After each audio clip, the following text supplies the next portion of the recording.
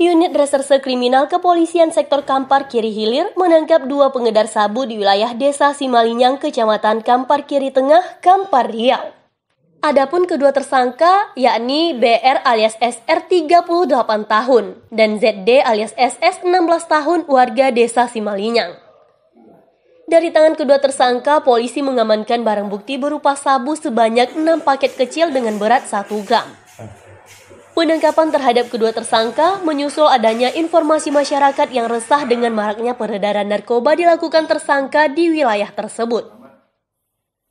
Polisi yang mendapat laporan langsung melakukan penyelidikan dan berhasil menangkap kedua tersangka di tempat berbeda.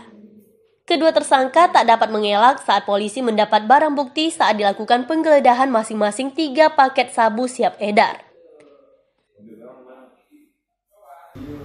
Kami dari jajaran Polsek Kapal Kiri Hilir telah berhasil mengamankan dua orang tersangka pengedar sabu-sabu di Desa Simalinyang, Kecamatan Kapal Kiri Tengah pada hari Minggu tanggal 8 Maret 2020.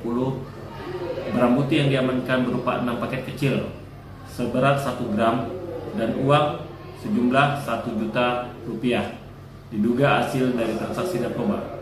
Terhadap tersangka kita jerat dengan pasal 114 untuk 112 Undang-Undang Nomor 35 Tahun 2009 tentang narkoba dengan hukuman paling lambat paling kecil